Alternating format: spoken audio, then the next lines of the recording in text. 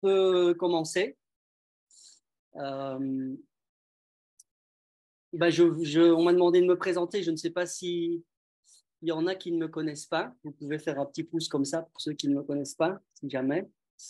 Euh, sinon, en deux mots, ben je travaille, j'ai travaillé comme permanent au CADTM pendant dix ans, de 2004 à 2011, un peu moins que dix ans comme permanent. Et puis, je suis redevenu bénévole et j'ai travaillé, je travaille depuis 2012 au CEPAG, donc le Centre d'éducation populaire André Genot, qui est une, une ASBL d'éducation permanente également, qui est plutôt liée à la FGTB Wallonne.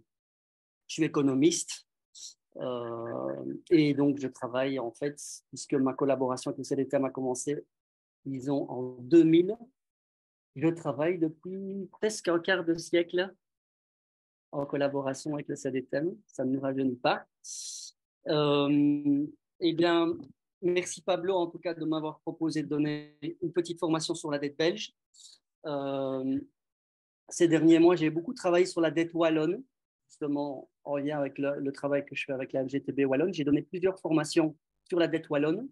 Euh, S'il y en a qui l'ont suivi, vous pouvez faire un petit pouce, comme ça j'aurai une petite idée. Euh, c'est clair que la logique est un peu la même. Il y a des différences importantes entre la situation de la dette wallonne et de la dette belge, euh, notamment une, je vais en citer que une, mais c'est que la Wallonie, contrairement à l'État, a très peu de marge de manœuvre sur ses recettes. Euh, c'est quasiment nul. elle peut jouer sur quelques petites choses, mais elle n'a pas de, possibilité d'augmenter fortement ses recettes, puisque la plupart de ses recettes proviennent justement de l'État fédéral. Donc voilà. Euh, mais la dette publique belge est une question très importante.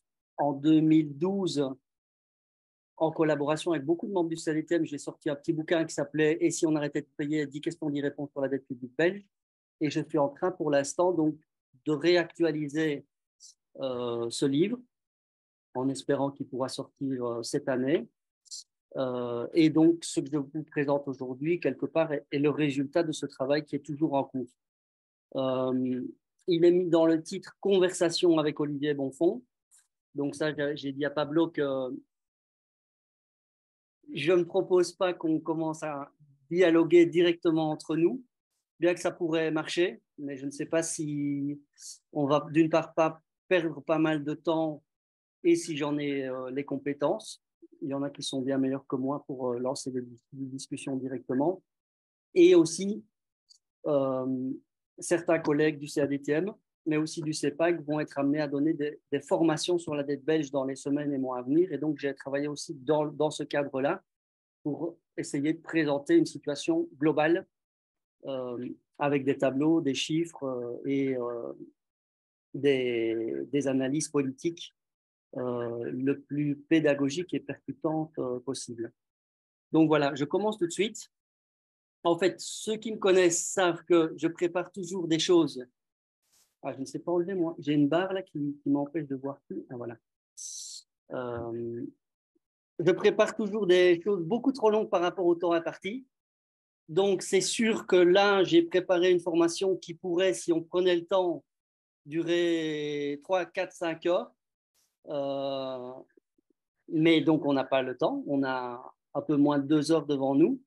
Euh, je ne sais pas comment tu vois les choses, Pablo, mais moi, ce que je propose, une fois qu'on sera rentré dans le vif du sujet, euh, c'est que s'il y a vraiment des, des questions d'éclaircissement, ben, vous levez la main et Pablo donne la parole sur un point ou un autre. Euh, et sinon, ce que je propose de faire, vous allez voir, il y a, trois parties. Un seul. Alors, excusez-moi. Ah. Il y a trois parties. Analyse de la situation, orientation dominante et trois orientations alternatives.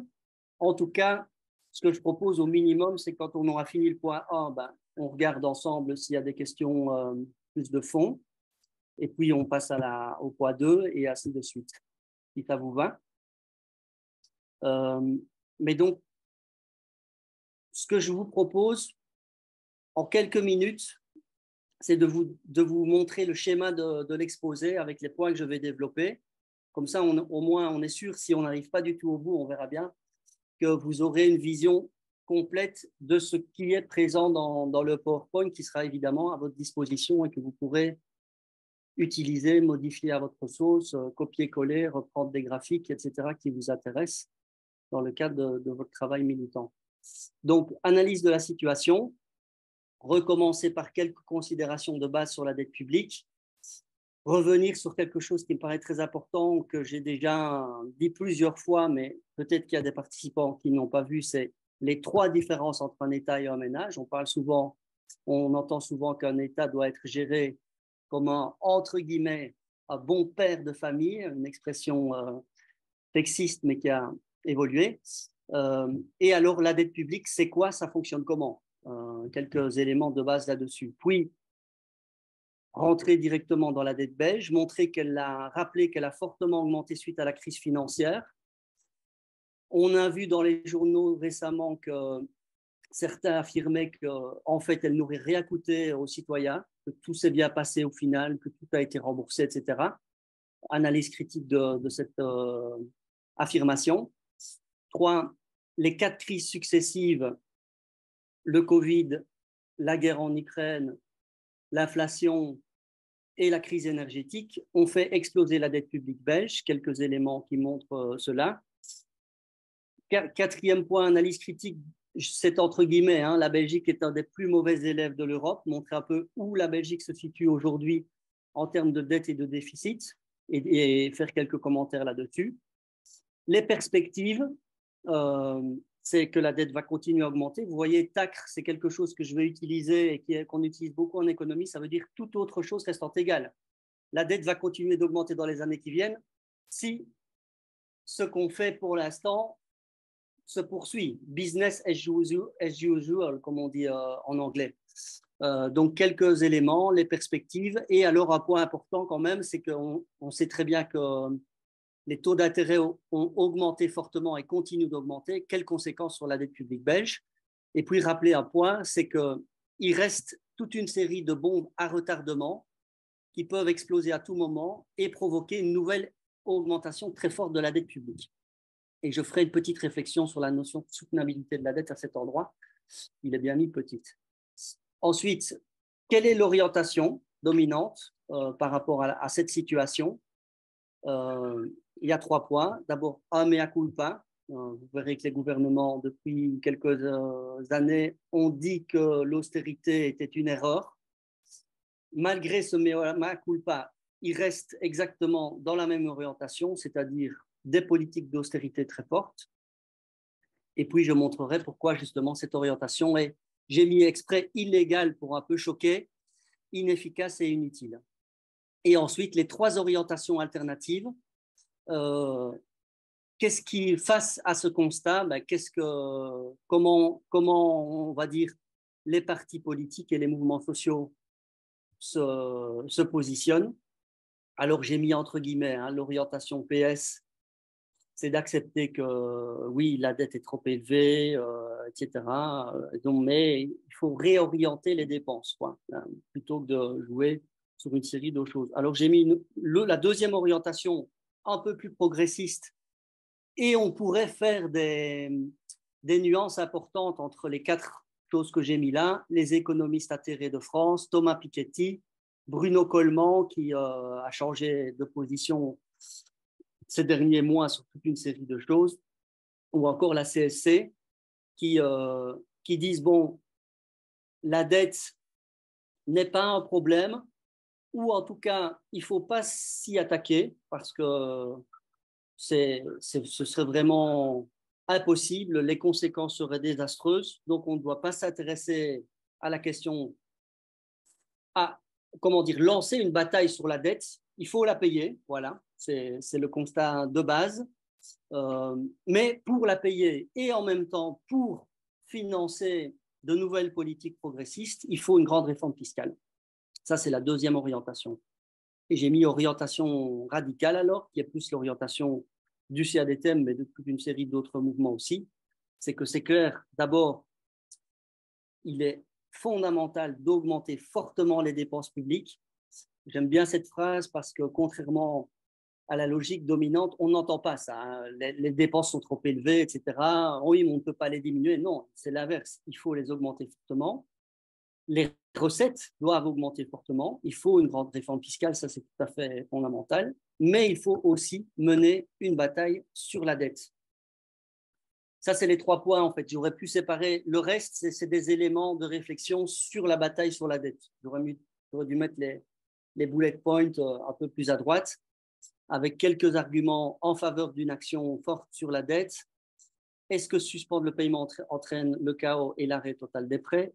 Est-ce qu'une annulation doit être de plus possible?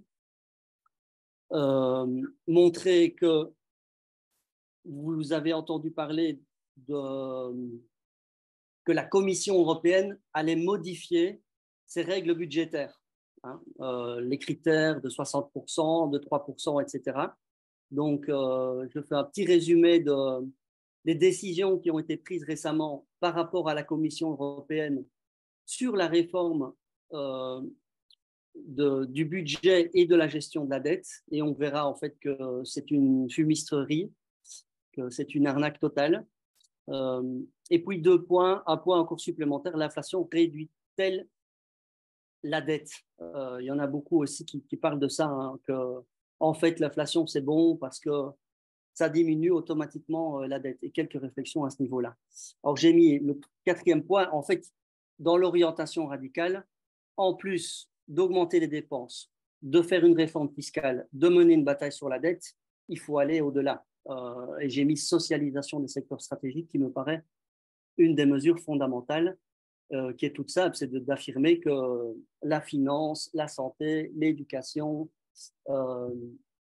les transports euh, et toute une série d'autres secteurs stratégiques ne peuvent pas être gérés sous la logique du profit, mais euh, en fonction de l'intérêt général et donc doivent être sortis de la logique de marché et de la privatisation pour être gérés autrement. Mais ça, ce point-là, je, ne l'aborderai pas aujourd'hui. Donc voilà le, schéma. Est-ce que ça vous convient? Oui, vous pouvez mettre un petit pouce. Deux. Parfait. Donc, analyse de la situation. Euh, trois différences entre un État et un ménage? Gérer les finances publiques en bon père de famille. J'ai mis OK boomer, vous connaissez l'expression, euh, parce que c'est une expression effectivement qui date, qui est sexiste. Et d'ailleurs, euh, si vous ne le savez pas, la législation tant française que belge a changé Maintenant, dans les textes officiels, on ne peut plus utiliser le terme de en bon père de famille, mais on doit mettre, c'est en dessous qu'il est mis, en personne prudente et raisonnable. Euh, ça, c'est un, petit point d'introduction. Mais surtout, ce qui sous-tend cette réflexion, c'est que un État, c'est un peu comme un ménage. Euh, si un État dépense trop, eh bien, pour équilibrer son budget, il est obligé de, de, diminuer ses dépenses, euh, etc. En fait, il y a, comme il est mis ici, trois grandes différences entre un État et un ménage. D'abord, contrairement au ménage, un État peut jouer sur ses recettes.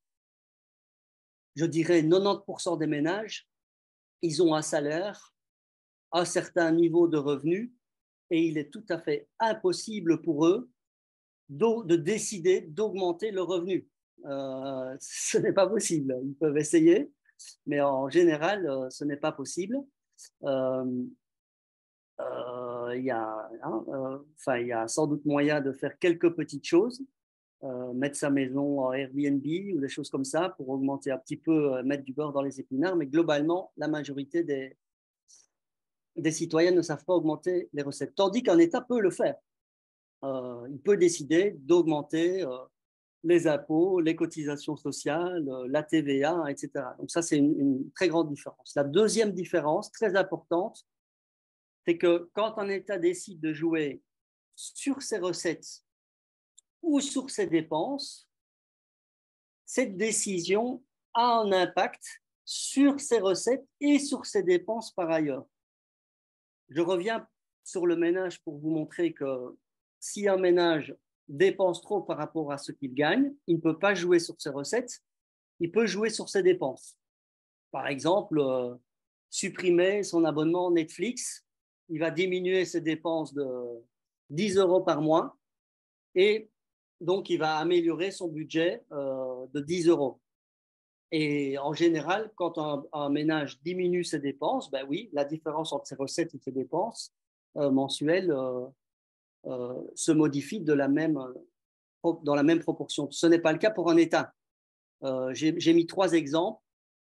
Si un État et on en parle de plus en plus, décide par exemple de renforcer les conditions pour exclure des personnes du chômage, en admettant qu'ils excluent 50 000 personnes du chômage, eh bien, c'est vrai qu'à très court terme, les dépenses liées au chômage vont diminuer, mais euh, ça va avoir un impact parce que si ces personnes-là qui vivaient du chômage n'ont plus d'argent, elles vont ne plus savoir dépenser, donc, la consommation va diminuer, donc les recettes de TVA vont diminuer, donc le chiffre d'affaires et les profits des commerçants euh, et des entreprises va diminuer, donc ça va provoquer une recette de la baisse des TVA, une recette, une baisse des recettes de la TVA, une baisse des recettes euh, de l'impôt sur les sociétés, etc.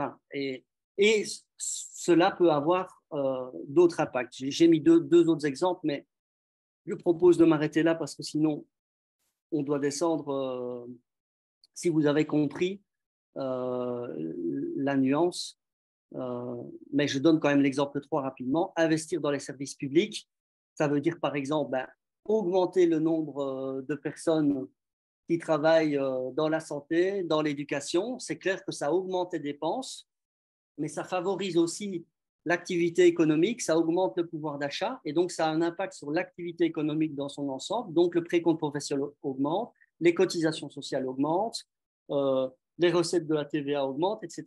Donc vous voyez, ça, ça, c'est la deuxième grande différence. Et la troisième, c'est justement lié à la dette. Euh, un État ne s'endette pas du tout de la même façon qu'un ménage. Quand un ménage achète une maison sur 20 euh, ans, il emprunte 200 000 euros. Dès la première année, il rembourse une partie du capital et des intérêts. Hein.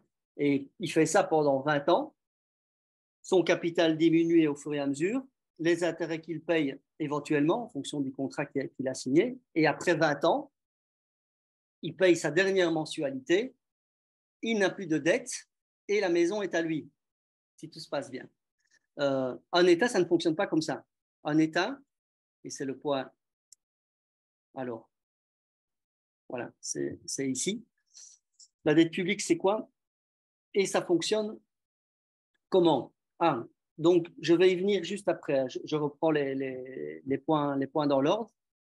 D'abord, il faut évidemment, mais ça, je, je suppose que, enfin, c'est vraiment un rappel de base. La dette, ce n'est pas la même chose que les déficits la dette publique belge, c'est la somme des déficits annuels qui se sont accumulés au fur et à mesure des années. Et pour vous montrer tout de suite, ah, il y en a deux, euh, c'est important ceci parce que je le réutiliserai pour, pour la suite. Donc, j'ai pris d'abord le budget de l'année 2019 qui est une très bonne année, et en tout cas qui est l'année qui précède des années, on va dire, qui ne peuvent pas être des années de référence avec le Covid et avec tout ce qui se passe depuis ces dernières années. Mais donc, le budget de la Belgique en 2019, c'était 238 milliards de recettes et 240 milliards de dépenses primaires. Je n'ai pas mis primaires, j'aurais dû le rajouter. Euh, les dépenses primaires, c'est les dépenses non compris les intérêts de la dette. Ce qui veut dire, vous voyez que la, le déficit primaire est de 2 milliards, intérêt de la dette 10 milliards en 2019, et donc ça veut dire que la Belgique en 2019 a dépensé 12 milliards de plus que ce qu'elle n'a reçu en recettes. Et ça, c'est le déficit. D'accord? Donc la dette en 2019 passant en 2020 a augmenté de 12 milliards. D'accord? J'espère que, vous comprenez. Rajoutez deux éléments dans ce tableau. Ces 12 milliards-là, la Belgique ne les a pas. Elle ne les a pas reçus en recettes, donc elle a été obligée de les emprunter au marché financier. Elle a emprunté 12 milliards sur les marchés financiers pour financer les 2 milliards qu'il manquait à ses dépenses et les 10 milliards des intérêts de la dette. Donc, c'est une première augmentation. Et puis après, il y a quelque chose que, dont on ne parle jamais dans les, dans les grands médias, etc. Il y a du capital qui est arrivé à échéance. Du capital qui, globalement, avait été emprunté il y a 10 ans. Il y a 10 ans, la Belgique avait eu besoin d'emprunter 25 milliards. Ça arrive à échéance. Il faut qu'elle les rembourse. Elle ne les a pas. Elle doit donc les emprunter. Ah, c'est 37, ne c'est pas 38. Hein. Euh, elle doit les emprunter également au marché financier, les 25 milliards, pour rembourser le capital qui arrive à échéance 2019. Mais cela ne provoque pas une augmentation de la dette, puisque c'est ces 25 milliards qu'on devait, qu'on doit rembourser, et que pour rembourser, on emprunte à nouveau pour euh, les rembourser. Et donc, j'espère que, vous m'avez compris, mais je vais, je vais y revenir. Je, je vous montre rapidement, pour vous montrer la différence fondamentale qu'il y a eu entre le budget 2019 et 2020. Vous voyez les recettes, elles étaient de 238 milliards en 2019. En 2020, les recettes ont fortement diminué de plus de 8 milliards, 230 milliards de recettes. Contrairement aux dépenses qui étaient de 240, les dépenses, les aides, euh, le, chômage temporaire, les aides aux entreprises, etc. Donc les dépenses en 2020 sont passées de 240 à 260 milliards. Donc on a eu un déficit primaire de 31 milliards en 2020, plus les intérêts de la dette, 9 milliards qu'il fallait payer, et donc, ce qui veut dire qu'on a eu un déficit en 2020, non pas de 12 milliards, mais de 40 milliards d'euros. Donc, la dette a augmenté en 2020 de 40 milliards. Le capital arrivant à échéance, 25 milliards. Il fallait le rembourser. On a été emprunté. Donc, la dette a augmenté de 25 milliards, mais on a utilisé ces 25 milliards pour rembourser une dette. Donc, vous voyez, là, la dette n'a pas augmenté on a emprunté au marché financier 65 milliards, mais la dette a augmenté de 40 milliards. Et voilà justement comment fonctionne un emprunt. Et tous les pays du monde fonctionnent comme ça. Euh, les pays du Sud comme les pays du Nord. En Belgique, on appelle ça les OLO, obligations linéaires ou linear obligatie. C'est du français néerlandais. Euh, c'est des titres à 10 ans c'est, je dirais, entre 85 et 90% de la dette qui est composée d'emprunts à 10 ans. Et je donne un exemple très concret pour vous montrer comment ça se passe. Le 24 avril 2023, donc il y a un mois, euh, la Belgique a emprunté 3,5 milliards d'euros sur les marchés financiers à 10 ans à un taux de 3,13% le 24 avril 2023, elle reçoit de la part, il y a moyen de trouver, euh, mais je ne l'ai pas ici, quelle institution financière lui a prêté. Elle a reçu 3,5 milliards, 3500 millions, vous voyez, 2023. Que va-t-il se passer avec cette dette? Le capital n'est pas remboursé avant 10 ans. La première année, c'est-à-dire le 24 avril 2024, à la même heure, ça se joue à la date près et à l'heure près, elle va rembourser le coupon de 3,13%. 3,13% de 3,5 milliards, c'est 110 millions. Donc, le 2, en 2024, le 24 avril, elle va payer 110 millions à la banque qui lui a prêté. 2025, idem. 26, idem. 27, idem. 28, 29, 30, 31, 32. Et moi, je ne vois pas tout mon écran mais 2033, c'est la dernière, c'est ça? Ouais. 2033, les 10 ans se sont écoulés. Elle doit payer son dernier coupon de 110 millions et les 3,5 milliards d'euros qu'elle a empruntés à 10 ans. Alors, comment est-ce qu'elle va les rembourser?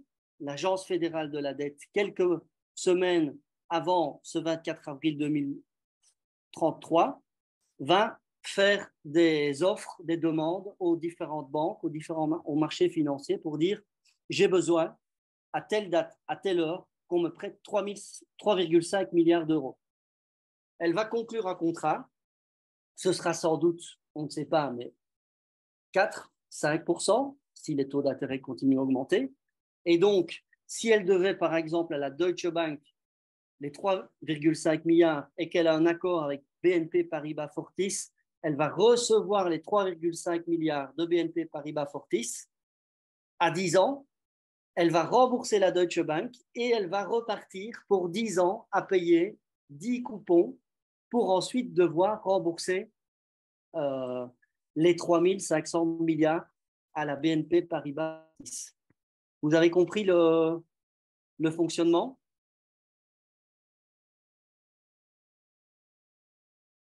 Peut-être du coup insister que donc la Belgique a payé plus d'un milliard juste en intérêt. Exactement, c'est génial. Hein. Franchement, la Deutsche Bank en prête 3,5 milliards et elle se fait 1 milliard,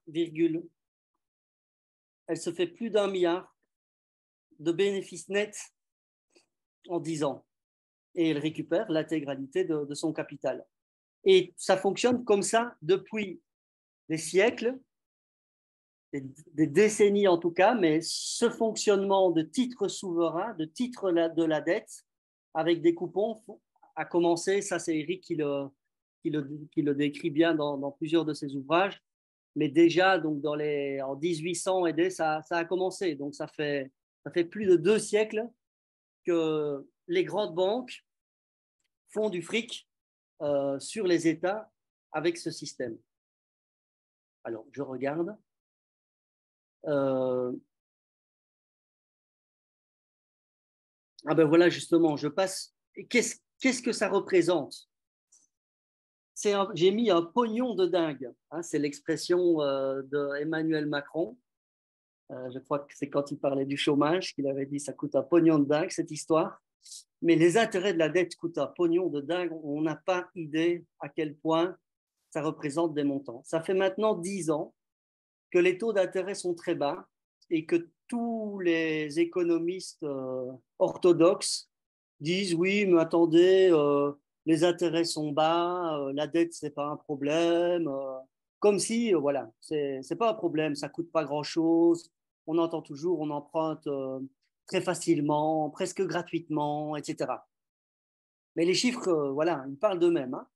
Et pour vous montrer ce que ça représente, je compare ce que les États de la zone euro ont payé en intérêt de la dette par rapport au plan de relance européen. Vous vous souvenez, en 2012, on a lancé un plan historique Hein, qui a été considéré par tous et dans tous les grands médias comme un plan historique de relance de l'Union européenne. C'était 750 milliards. J'ai bien mis ici 375 parce que sur les 750 milliards, il y a 375 milliards qui ne sont pas des subventions aux États, mais des prêts, avec un taux d'intérêt légèrement différent des marchés financiers. Mais donc, euh, et d'ailleurs, sur ces 375, quasiment euh, aucun État n'a été puisé dedans puisque ça ne, représentait quasiment aucun intérêt. Donc le plan de 750 milliards, euh, de 750, oui, se transforme en un plan de 375 milliards sur 7 ans. Donc ça veut dire que c'est, il faudrait que j'enlève ce, truc là, ah, voilà. 53 milliards par an pour l'ensemble des pays de l'Union européenne. Eh bien, entre 2012 et 2021, les 19 pays de la zone euro ont payé aux grandes banques 2500 milliards d'euros en intérêt de la dette, soit une moyenne de 250 milliards d'euros, c'est-à-dire cinq fois plus chaque année les 19 pays de la zone euro paye en intérêt de la dette, en coupon, comme je viens de vous montrer dans le diapo précédent, cinq fois le plan historique de relance européen. Donc c'est un montant euh, absolument. Et si on prend pour la Belgique, dans ces 375 milliards, ah, j'entends.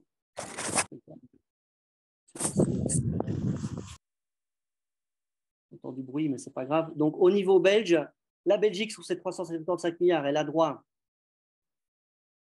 à 9, euh, attendez, non, 4,5 milliards, puisque je ne sais pas si vous le savez, mais ces 375 milliards ont été distribués de manière très différente en fonction euh, des pays, de leur situation, etc. L'Espagne euh, bénéficie très largement, l'Italie aussi, beaucoup plus que la Belgique. La Belgique, elle bénéficie de 4,5 milliards en subventions sur 7 ans. Ça fait 650 millions d'euros par an. Et au niveau belge, chaque année, la Belgique a payé environ, en moyenne, 9 milliards par an, c'est-à-dire 14 plans de relance européens. Chaque année, les intérêts de la dette coûtent 14 fois plus que le plan de relance européen qui est destiné à la Belgique. Donc voilà, euh, je remonte. Donc s'il y a des questions, vous levez la main et, vous demandez la parole à, Pablo. Sinon, je, continue. Il y avait Véronique qui avait posé une question tout à l'heure qui demandait si tu connais, euh, les décisions qui avaient mené à l'augmentation euh, de la, de la dette en 2020 du coup. Les décisions Oui. Euh. Quand tu parlais du, de l'augmentation exponentielle de la dette, là, à ce moment-là, je demandais si on savait quelles décisions étaient liées à ça. c'est, donc c'est clairement, c'est le Covid. Hein, donc il y a eu l'arrêt euh, de toute une série de secteurs. Les entreprises ont dit euh, impossible pour nous, vous devez intervenir parce qu'on ne peut pas mettre, euh, peut pas continuer à payer les gens et donc on va les, les foutre au chômage.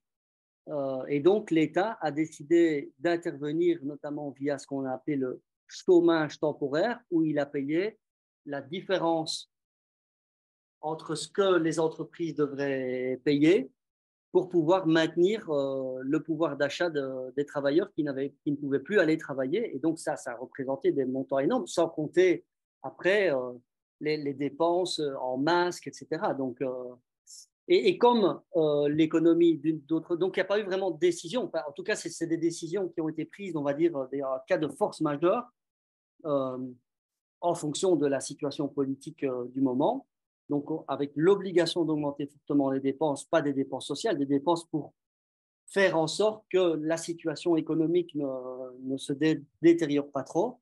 Et puis par ailleurs, comme les entreprises n'ont plus produit, euh, que les travailleurs, que les consommateurs n'ont plus consommé, donc il n'y a plus d'activité, donc les recettes de la TVA ont diminué, les cotisations sociales, etc. également.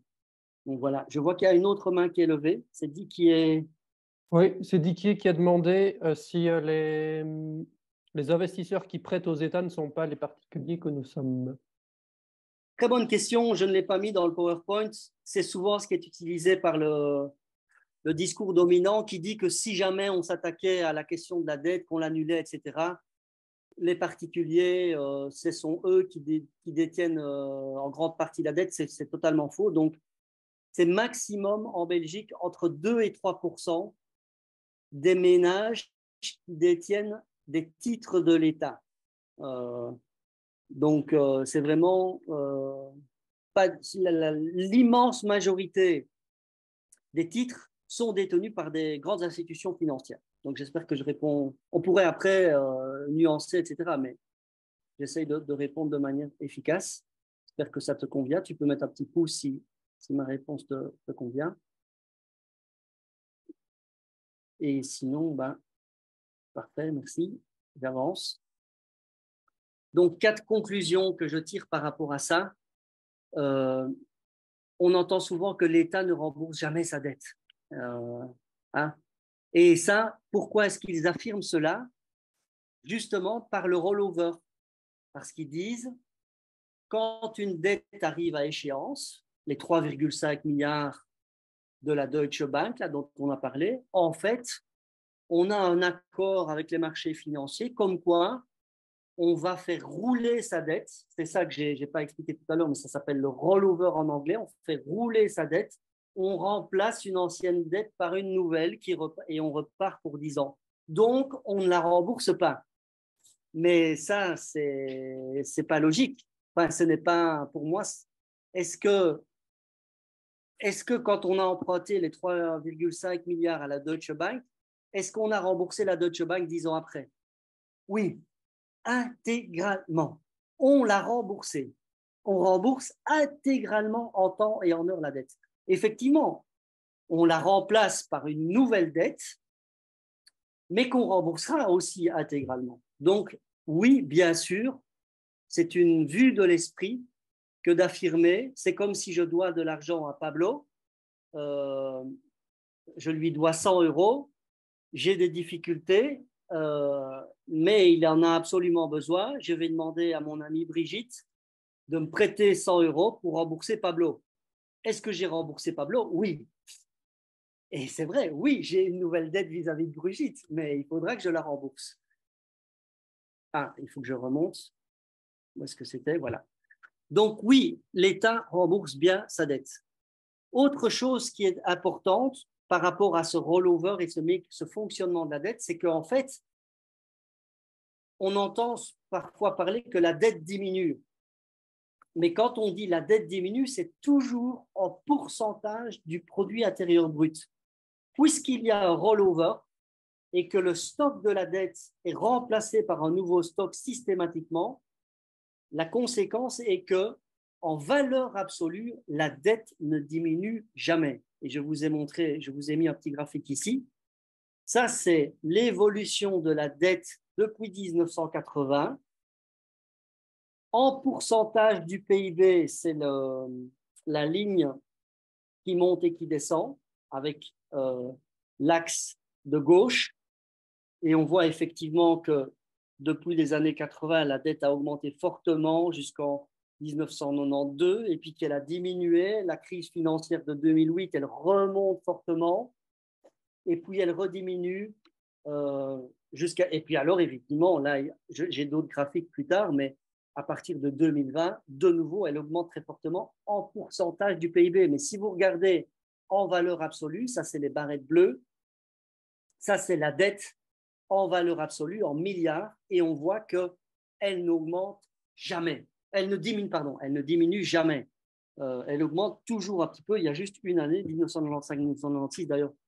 Ce serait intéressant d'aller vérifier pourquoi. Je, ne saurais pas vous dire. Euh, il faudrait aller regarder ça. Euh, mais sinon, donc, la dette augmente toujours. Troisième conclusion, les marchés financiers peuvent potentiellement étrangler financièrement n'importe quel État à n'importe quel moment. Je reviens sur, pour vous montrer, voilà, prenons l'année 2020, ou prenons même l'année 2009, 2019, une année tout à fait normale, y compris une, bonne année, parce que d'habitude, les déficits sont plutôt de l'ordre de 4, 5, 6 milliards. Ici, en 2019, il n'était que de 2 milliards au niveau du déficit primaire et de 12 milliards au niveau du total du déficit, puisqu'il y a les intérêts de la dette. Si les marchés financiers décident, et ils le peuvent, de supprimer la technique du rollover, c'est-à-dire de ne plus accepter de prêter de l'argent pour financer le déficit et le roulement de la dette. Vous voyez, capital arrive à échéance 25 milliards. L'État, en 2019, pour équilibrer au total ses recettes et ses dépenses, avait besoin de 12 milliards pour son déficit et de 25 milliards des 10 ans. Hein. Euh, donc, pour équilibrer, il devait trouver 38 milliards sur les marchés financiers. Si les marchés financiers décident de stopper le rollover, eh bien, l'État est étranglé financièrement. C'est d'ailleurs en partie, il faudrait nuancer, je n'ai pas le temps de le faire ici, ce qui s'est passé en Grèce en 2015. Les marchés financiers, à la suite de la prise de pouvoir d'un gouvernement radical, progressiste, non révolutionnaire de Syriza en Grèce, ont décidé de stopper le rollover. Et on dit, vous nous devez autant d'argent, mais nous, on ne vous fait plus confiance. Donc, on ne vous prêtera pas l'argent, y compris pour rembourser le capital qui arrivera, qui arrive à échéance euh, en 2015. Donc, vous devrez le trouver autrement que via nous.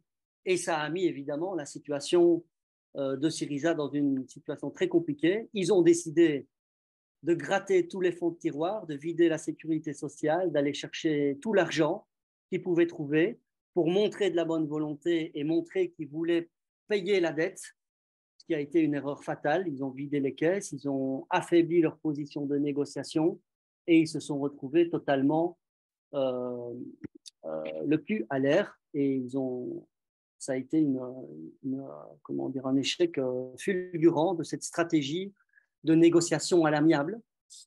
Mais donc, vous voyez, ça ne va pas arriver l'année prochaine parce qu'ils n'en ont pas intérêt. C'est un business génial, le business de la dette, et ils n'ont pas intérêt à étrangler un gouvernement qui globalement applique les politiques qui sont conformes à leurs intérêts.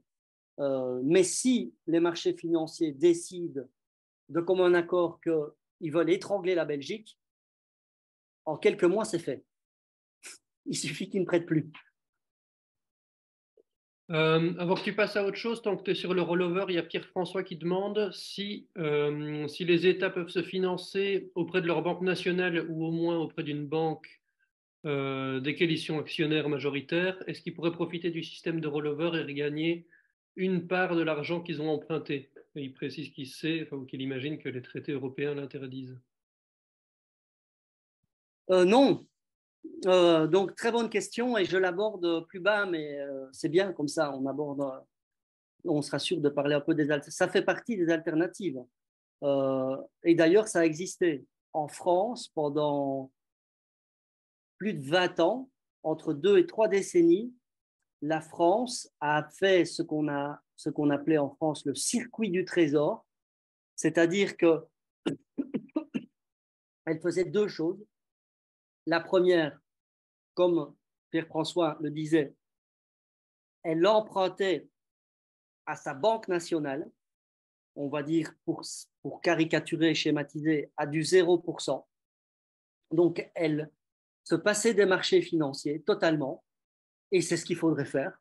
Il faudrait permettre à nouveau aux États d'emprunter à, la Banque centrale européenne ou à leur banque nationale à un taux de 0% ou à un taux très bas à définir pour éviter de payer des sommes monumentales qui enrichissent quelques institutions financières. Et la deuxième chose qu'elle faisait, c'est qu'elle obligeait des institutions financières, y compris dont elles, n'étaient pas actionnaires majoritaires, mais elle disait, toi, euh, BNP Paribas, tu es obligé de me prêter X montant, donc d'avoir dans ton bilan autant de milliards de dettes françaises que tu vas me prêter et le taux auquel je vais te payer, c'est moi qui le définis. Ce n'est pas une négociation, ce n'est pas la loi de l'offre et de la demande qui fonctionne, comme aujourd'hui. Hein. Les marchés financiers disent Ah oui, mais écoutez, vous, la Belgique, euh, je n'aime pas, vous n'allez pas suffisamment vite au niveau de vos réformes de la pension. Donc, je ne suis pas content. Donc, euh, je ne suis pas prêt à vous prêter à du 3,13, mais je vais vous prêter à du 4.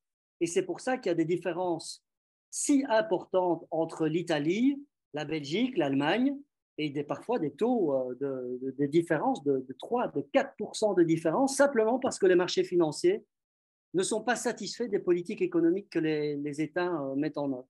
Donc, il faut absolument sortir de là. C'était possible, la France l'a fait, et, la deuxième sous-question que Pierre-François sous-entend, oui, c'est aussi euh, une, des possibilités. En fait, l'article 123 du traité de Lisbonne dit deux choses. paragraphe 1, les États ne peuvent pas emprunter à la Banque centrale européenne ou à leur Banque centrale nationale, ils doivent emprunter au marché financier, c'est le paragraphe 1. Et le paragraphe 2, les banques peuvent. Mais donc, et c'est ça qui fait qu'on est dans le rollover. Les banques empruntent à la Banque centrale européenne et encore récemment à du moins 3% et elles prêtent à l'État belge à du 3%. Donc, c'est un business génial. Mais ce paragraphe 2 dit les banques peuvent, et donc les établissements de crédit, qu'ils soient privés ou publics, peuvent le faire. Et donc, c'est une des possibilités à envisager, c'est que par exemple l'État belge, qui est propriétaire à 100% de la banque Belfius, pourrait dire, changer évidemment les statuts de Belfius et ordonner à Belfius d'emprunter à la Banque centrale européenne à du 0% et de lui prêter à du 0,1 par exemple pour cent. Donc c'est une des possibilités qu'il faut envisager sérieusement. Donc voilà ma réponse. Si Pierre-François est content de la réponse, il peut mettre un petit pouce. Moi, je ne vois pas les... s'il y a d'autres questions, je te laisse gérer, hein, Pablo. Il y avait voilà, et... une très longue, mais euh, je propose oh. qu'on garde pour la suite peut-être. D'accord, oui, comme ça on avance un peu. Mais on la garde, Dominique, si tu es d'accord. Véronique. Ah, Véronique. Alors, euh, alors ben voilà la conclusion générale. D'habitude, je développe beaucoup ce point-là, mais donc la dette publique, c'est quoi? Si on veut résumer le problème de la dette publique en une phrase, c'est deux choses. Un mécanisme permanent de transfert de richesse en faveur des marchés financiers, des grandes banques, des détenteurs de capitaux, des capitalistes, comme on veut, permanent via le rollover, programmé pour ne jamais s'arrêter et très rentable, mais c'est aussi, et on y reviendra par la suite, un outil de domination politique parce que les États sont endettés et qu'ils doivent trouver des 40, des 50, des 60 milliards chaque année pour équilibrer leurs comptes, les marchés financiers peuvent jouer un rôle de pression énorme pour leur dire ben, vous devez euh, attaquer, euh, réformer le marché du travail, euh, réformer le système de retraite en France, et toute une série de politiques antisociales. Et je n'en dis pas plus ici pour avancer.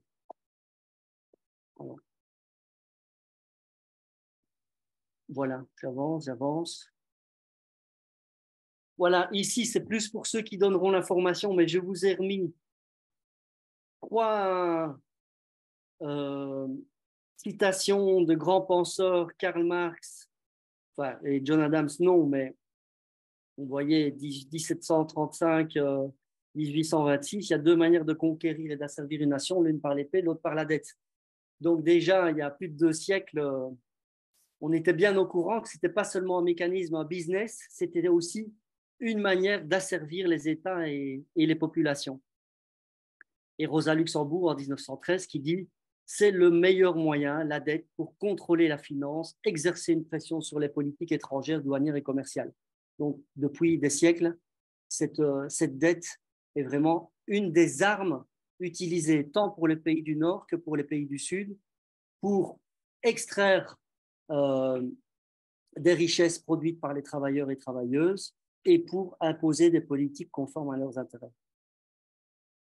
Alors, on avance dans maintenant la dette, la crise financière. Ça, c'est un petit tableau qui vous montre que c'est bien suite à la crise de 2007-2008 que les dettes publiques dans les pays du Nord ont augmenté. Et vous voyez, de nouveau, moi j'ai ce truc-là qui m'emmerde ici, mais euh, euh, la Grèce, très forte augmentation, la France, l'Irlande, énormément d'augmentation, l'Espagne aussi, la France et la Belgique.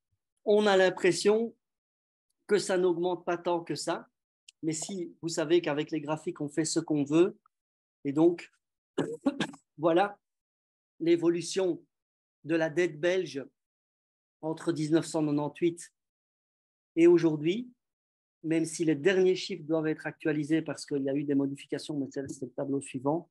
Mais vous voyez donc la crise financière de 2008 a provoqué une très forte augmentation de la dette et on voit 2020, très forte augmentation de la dette également.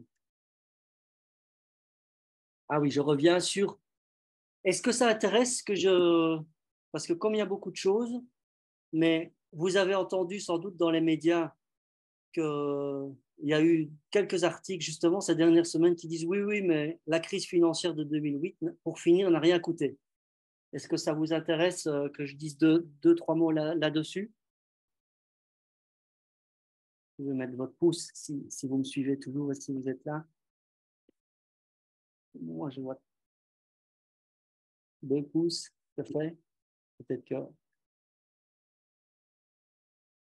Je fais vite, Pablo, ou quoi, oui? Oui, ouais, je crois qu'il y, a quelques pouces. Je crois que tu peux essayer de faire un ah, Parce que je, je, ne vois pas bien si.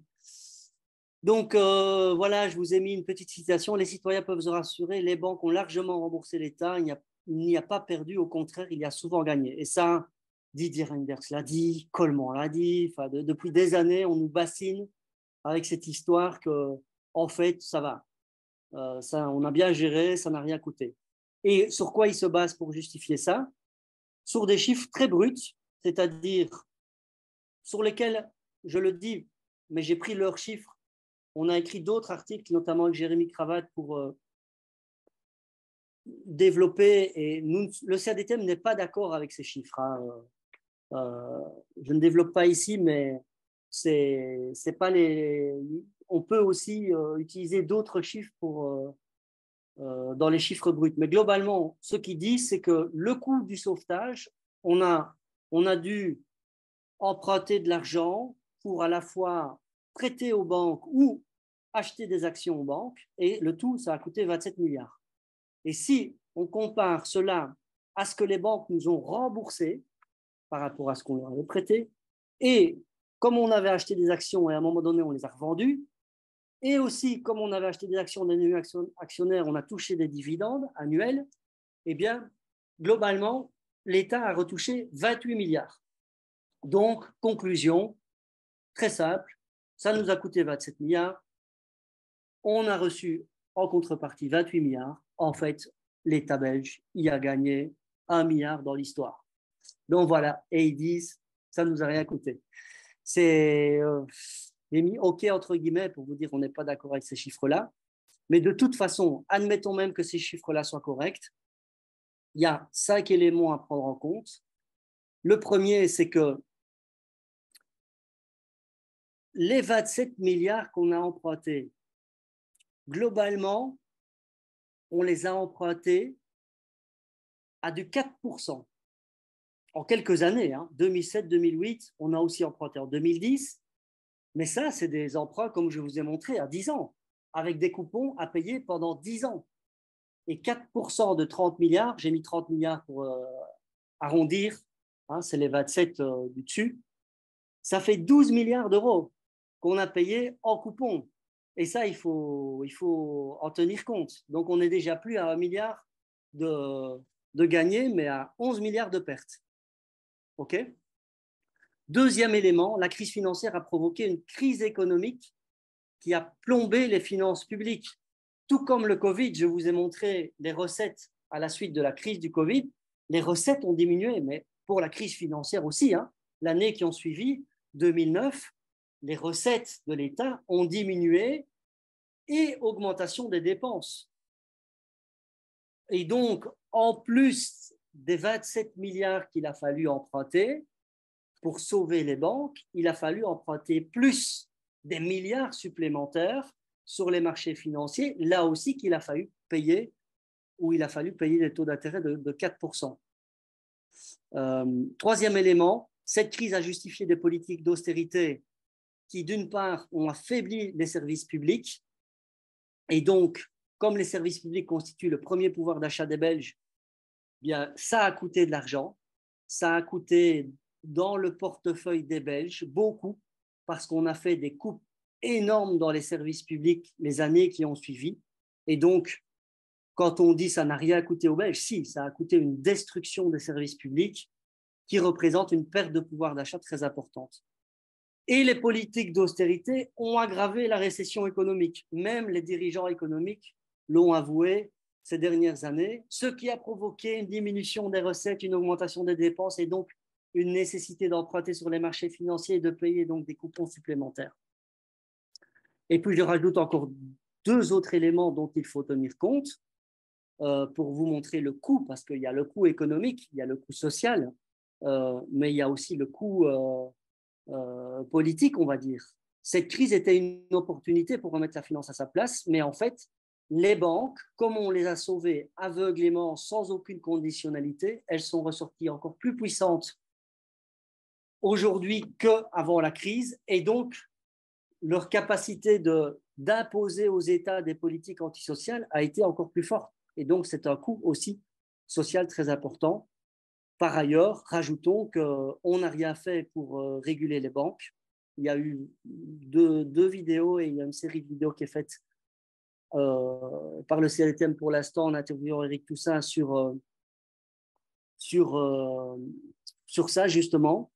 Elles ont continué leur opération spéculative, de nouvelles faillites sont à prévoir et donc les coûts que ça va coûter dans les mois ou années à venir vont être très importants. Voilà pour ce point-là.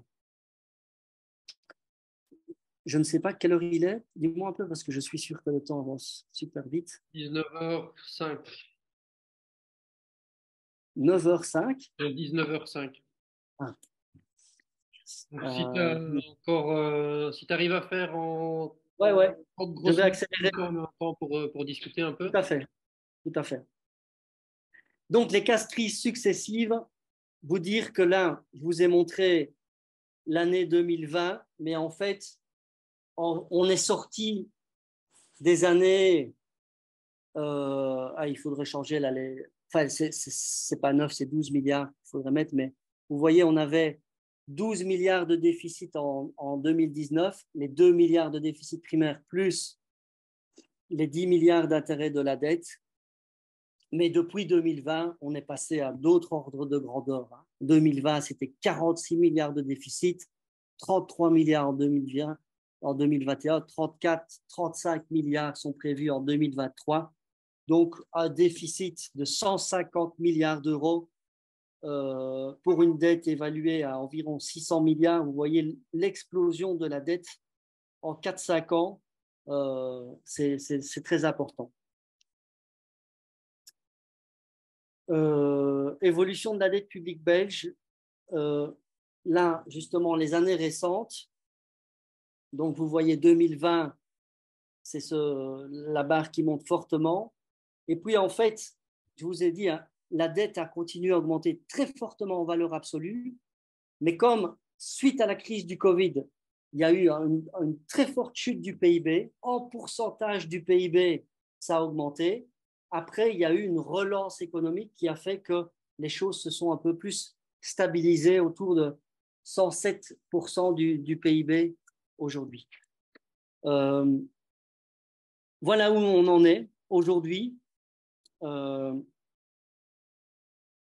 pour les pays européens, vous voyez la Belgique, on est aux alentours d'un déficit de 5-6% du PIB. Euh, un peu moins de 5%, euh, et une dette, mais ça c'était, ce, tableau-là date encore de l'année passée, euh,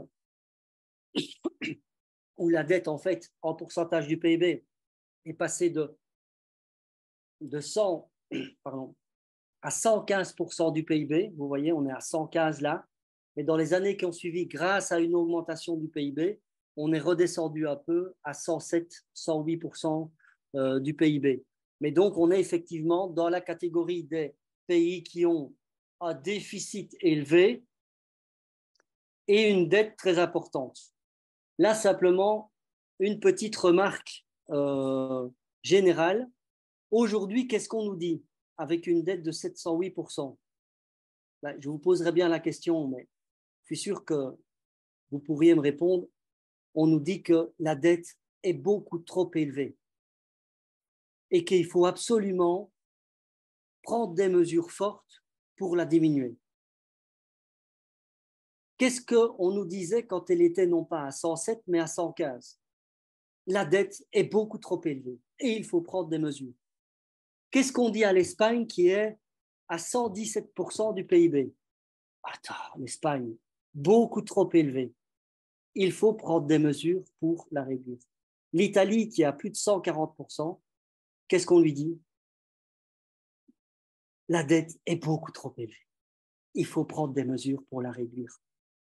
Et donc, en fait, cette idée que même si on prenait des mesures et qu'on diminuait la dette à 98% du PIB comme elle était avant la crise du Covid, qu'est-ce qu'on nous disait avant la crise du Covid? La dette est beaucoup trop élevée, c'est intenable, 98% du PIB, mais vous ne vous rendez pas compte. Il faut absolument prendre des mesures pour la réduire. Et donc cette idée de d'affirmer qu'elle soit à 145% ou à 95%, en fait, ce qui compte pour les créanciers et pour ceux qui utilisent depuis des siècles la dette comme un instrument de domination de politique économique, pour eux, c'est très important que la dette soit déclarée comme beaucoup trop élevée et qu'il faille prendre des mesures urgentes euh, pour la diminuer. Donc, c'est une vue de l'esprit. Euh, le Japon a une dette de 240% du PIB et le Japon n'a pas implosé. Le Japon existe, les Japonais vivent. La Belgique, euh, il y aurait par exemple une nouvelle crise, euh, une nouvelle pandémie qui apparaîtrait avec l'obligation de s'endetter de 100 milliards sur une année, avec une dette qui passerait de 107% à 120%, ça ne changerait rien, en fait. Je veux dire, on nous dirait, la dette est beaucoup trop élevée, il faut prendre des mesures pour la diminuer. Je ne sais pas si tu me parles, Pablo, ou si tu as... Non, pardon, je parle à côté. Par contre, non, non. j'en profite pour... Euh, il y a Virginie qui demande une clarification sur le chiffre de l'Irlande. Elle ne comprend pas la situation dans le graphique précédent. Euh, quand on sait par rapport à la crise de 2010 Ouais, je suis étonné aussi. Donc, euh, c'est Christine comment? Pagnoul?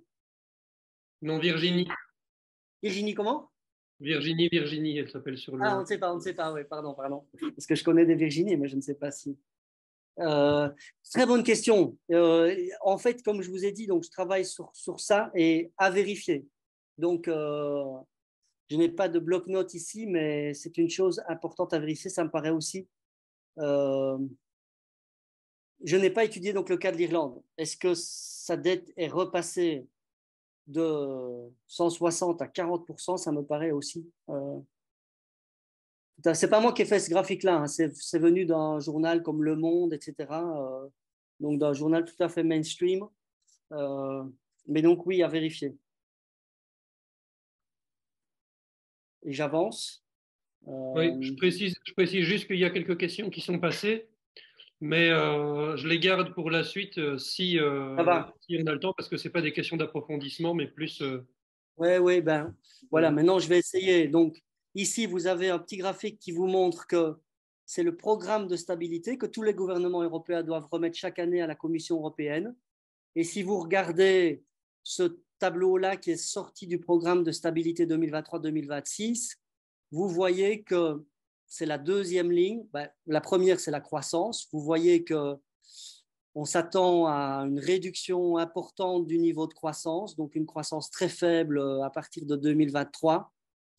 Que le solde de financement, c'est-à-dire le déficit qui ici est exprimé en pourcentage du PIB, avec le rappel qu'il faut atteindre 3% on est loin du compte. 2023, ça va être une très mauvaise année. 5% de, déficit par rapport aux 3%, 4% en 2024, 3% en 2025, 2,9% en 2026. C'est toujours la même chose. Hein. Comme ils ont l'obligation de descendre en, 2000, en dessous de 3%, chaque année, dans le programme de stabilité, ils, écrivent qu'ils vont descendre juste en dessous de 3% en fin de programme de stabilité. Mais chaque année, ils doivent euh, réactualiser. Et les charges d'intérêt, très important, on voit que les charges d'intérêt exprimées en pourcentage du PIB, ce n'est pas en milliards, vont augmenter chaque année très fortement. Un pourcentage du PIB, c'est 50 milliards. Donc, euh, ça va. les, charges d'intérêt vont augmenter euh, chaque année, ça c'est sûr. Ce que on est, je vous ai parlé de 9-10 milliards ces dernières années, mais là maintenant, euh, comme le rollover et qu'on est en train de remplacer des anciennes dettes où on payait des coupons de 1% par des nouveaux coupons de 3, ça, ça va faire monter. Je vous ai d'ailleurs fait un petit calcul ici en dessous. Si on a un déficit de 30 milliards, qu'on payait euh, pendant presque 10 ans à du 0,5%, hein, taux d'intérêt très bas, on payait des coupons de 150 millions chaque année sur les 30 milliards qui arrivent à échéance. Maintenant, ça va être des coupons de 1 milliard, plus le rollover. Chaque année, 25 milliards qu'on doit remplacer par des nouvelles dettes de 10, de 10 ans aussi, qu'on payait environ 1%. Euh, donc, on va payer presque 1 milliard 875 millions plutôt que 250 millions. Donc, ça va faire des augmentations minimum annuelles de 2 milliards d'euros. Mais les choses s'emballent parce que c'est 2 milliards la première année, 4 milliards la deuxième et ainsi de suite. Donc, on est dans une, dynamique de très forte augmentation euh, des intérêts payés au marché financier. Voilà, ça c'est l'évolution des holos. Euh, vous voyez, donc euh, depuis 2015, on est en dessous de 1%. Maintenant, on est à 3%. Donc, chaque fois qu'on va euh, remplacer des anciennes dettes par des nouvelles, le, taux va, augmenter. Je, je passe ce point-là, mais je vous dis simplement que la logique actuelle est toujours de faire comme s'il n'y aura plus de problème. On a une dette maintenant de 108%, elle est trop élevée, il faut prendre des mesures, et si on prend des mesures, on va réussir à stabiliser et diminuer la dette, ce qui est un raisonnement déjà fallacieux, mais surtout si on regarde les explosions de dette ces dernières années, avec 2008, le Covid, la guerre en Ukraine, la crise énergétique, il y a eu de chaque fois des chocs extérieurs qui ont fait que la dette a augmenté de manière euh, très brutale. Et donc, euh, il est plus que probable que dans un mois, dans six mois, dans un an, de nouveau, un nouveau choc arrive et l'explosion de la dette arrive. Il y a dix grandes bombes à retardement, récession économique, l'inflation qui euh, reprend des proportions euh, incontrôlées, les taux d'intérêt qui explosent. Et je vous, je vous passe les autres, je vous dis juste la dernière, une nouvelle pandémie, une résurgence d'un Covid, un variant beaucoup plus violent. On n'a rien fait pour se préparer, donc on sera de nouveau dans la même situation qu'en 2020 et on aura euh, d'abord une gestion totalement désastreuse comme en 2020 et puis aussi une augmentation de la dette très importante. Je passe ça parce que l'orientation dominante, il y, a eu un mea culpa je vous lis pas les trucs, mais deux citations qui disent qu'on s'est trompé. On a appliqué de l'austérité dans les années 2010 et c'était une très mauvaise décision. Malgré ce mea culpa, ils reviennent sur la même chose, euh, c'est-à-dire on doit appliquer des politiques d'austérité très fortes. Alors, ce choix et cette orientation, j'ai mis illégal parce que l'article 23 de la Constitution belge oblige les gouvernements à améliorer les conditions de vie des citoyens belges. Euh, et donc, si on admet que ces politiques d'austérité orientées vers les dépenses, la réduction de dépenses, va provoquer une dégradation des services publics, donc un bien-être général de la population belge, on peut considérer, on pourrait dire que c'est injuste, mais on, peut dire c'est anticonstitutionnel, illégal. Inefficace parce que, comme l'histoire nous a montré, ça va provoquer un ralentissement de l'activité économique. Ça n'a jamais fonctionné. Je vous ai mis ici un petit truc pour vous montrer l'austérité qu'on a appliquée entre 2012 et 2018. C'était une, bonne austérité. D'ailleurs, ils ont dit, hein, c'était une mauvaise décision ça n'a pas donné les résultats escomptés. Mais on a, on a coupé dans les pensions de 1 milliard, de 8 milliards dans les soins de santé, de 7 milliards dans la sécurité sociale, de 3 milliards dans les services publics. on y est allé à fond les manettes hein, euh, pendant cette période-là. Pour quel résultat? Faire passer la dette de 101% à 98%. Merci. Euh, qu'est-ce qu'on nous a dit? Qu'est-ce qu'on nous disait quand elle était à 101 La même chose que quand elle était à 98. Elle est beaucoup trop importante. Il faut continuer. Donc c'est une folie. Faire toujours la même chose et s'attendre à un résultat différent. On est d'accord avec Albert Einstein. C'est totalement fou de se relancer dans la même chose et c'est inutile. C'est ce que je viens de répéter à plusieurs reprises ces dernières minutes, parce que même si ça marchait qu'on arrivait à réduire la dette à 95%, c'est-à-dire une diminution de 10%, on nous dirait, vous comprenez, la dette doit être à 60%, elle est beaucoup trop élevée, il faut que vous continuez. Et d'autres, bon, bref, vont à nouveau tout faire déraper et les orientations alternatives. Voilà, et ça c'est plus pour lancer le débat, mais je vous résume. L'orientation, on va dire, du Parti socialiste, c'est d'accepter que la dette est un problème, qu'il faut la réduire, qu'on ne peut pas continuer comme ça, et que donc, mais qu'on ne peut pas diminuer fortement les dépenses quand même. Hein. La majorité des dépenses, socialement, donc, il faut que chaque euro public soit bien dépensé. C'est la logique qui est euh, dominante. Euh, c'est-à-dire que donc on doit analyser correctement toutes les dépenses de l'État pour voir si on ne peut pas diminuer certaines dépenses pour les réorienter vers d'autres dépenses plus utiles, plus stratégiques, plus productives, etc. C'est totalement euh, débile, Bien sûr qu'il y a moyen de le faire, mais qu'on va parler de quelques centaines de millions d'euros et on ne pourra pas du tout régler les problèmes.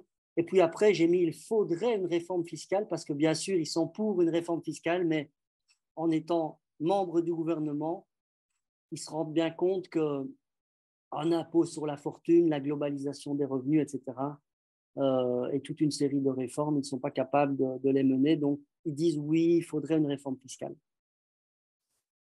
Deuxième orientation, c'est de dire en fait la dette n'est pas un problème euh, aujourd'hui pour les quatre raisons que j'ai mis là. On ne doit pas trop s'en préoccuper parce que d'abord les taux d'intérêt réels sont négatifs, ils sont globalement encore bas, surtout qu'on a emprunté de l'argent l'année passée, l'année d'avant, à des taux d'intérêt très bas et que donc le temps que les taux d'intérêt remontent, on a le temps de voir venir. En plus, l'inflation est élevée. Donc, si on compare les taux d'intérêt réels, les taux d'intérêt payés à l'inflation, on est toujours dans des taux d'intérêt réels négatifs. L'inertie, comme je vous ai dit, on a le temps de voir venir. Et en plus, on a un pays qui a une grande épargne intérieure. Donc, normalement, les marchés financiers ne vont pas trop s'inquiéter. Euh, on a de quoi euh, voir. Mais par contre, il faut une grande réforme euh, fiscale pour augmenter les recettes, payer la dette, la diminuer et mettre en œuvre des, réformes progressistes. Et donc, je vous ai fait un petit tableau ici que maintenant vous connaissez. Je sais, Pablo, hein, le temps passe, mais j'arrive au bout. Pas de souci. Mais si les gens en ont marre aussi, qui veulent vraiment le débat, euh, ils le disent. Hein. Mais sinon, donc, je, je, je, suis presque au bout, j'espère bien. Les recettes, en admettant, voilà, c'est le budget alternatif, j'ai mis entre guillemets un CSC.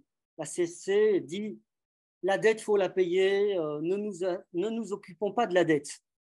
Ça, c'est clair, c'est la position officielle du syndicat CSC. Euh, admettons qu'on a un, budget qui est de 7 ans, 270 de recettes, 280 de dépenses, donc un déficit primaire de 10 milliards, que les intérêts de la dette sont toujours plus ou moins 10 milliards, donc on a un déficit de 20 milliards.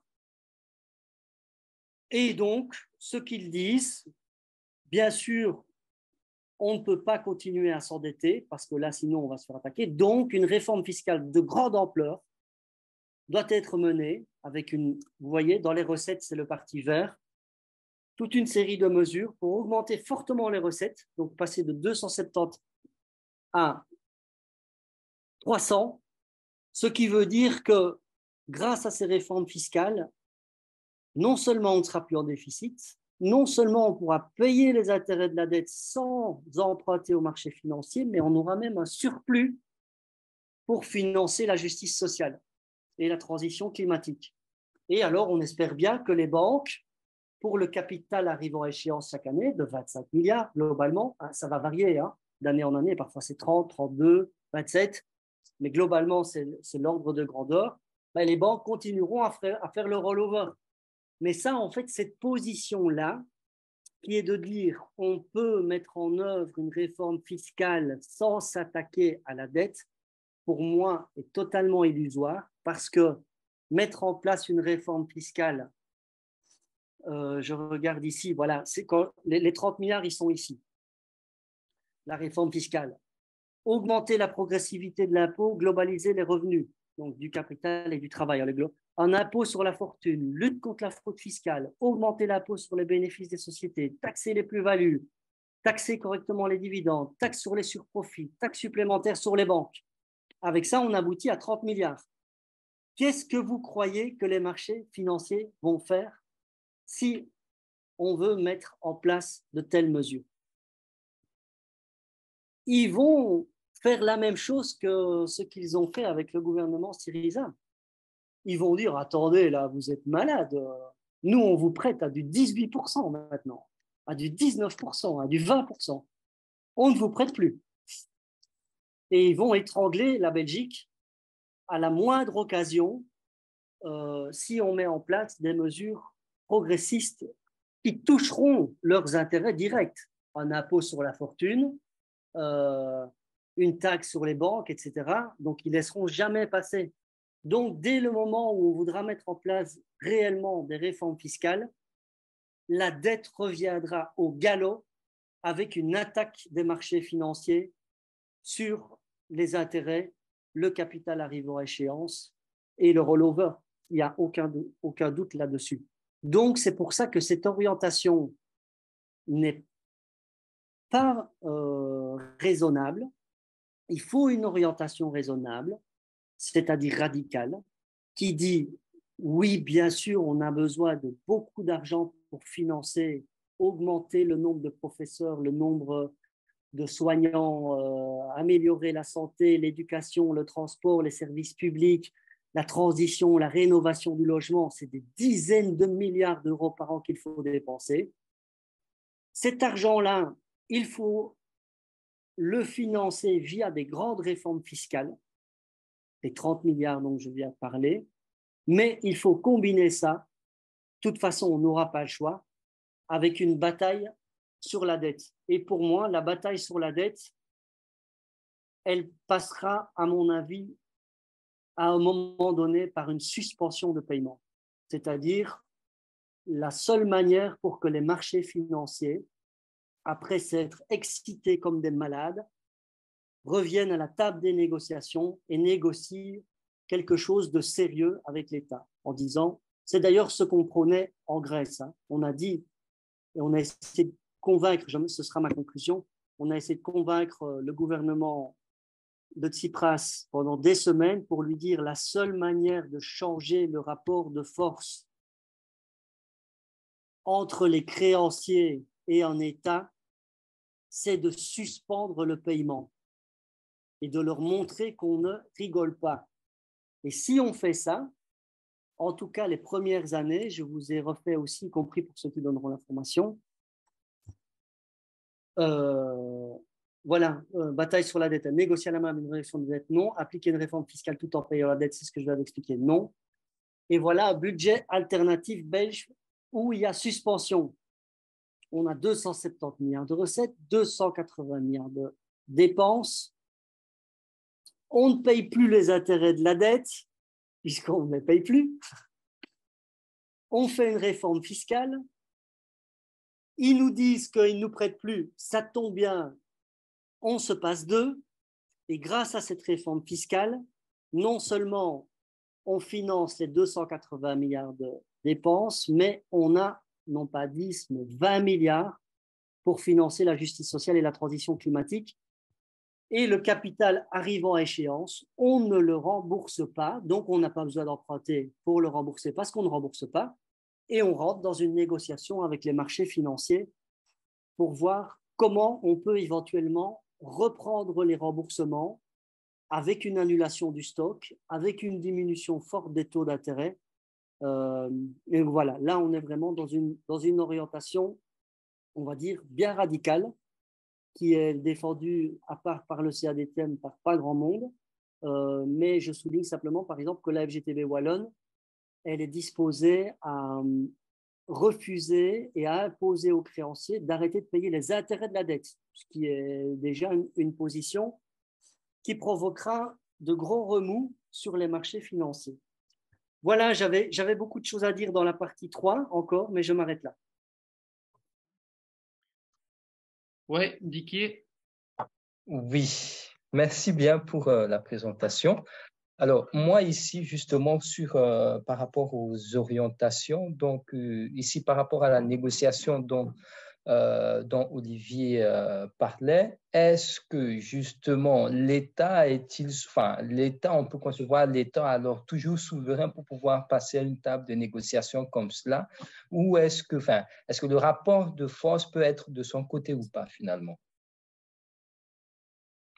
Je réponds tout de suite. Euh, c'est une très bonne question.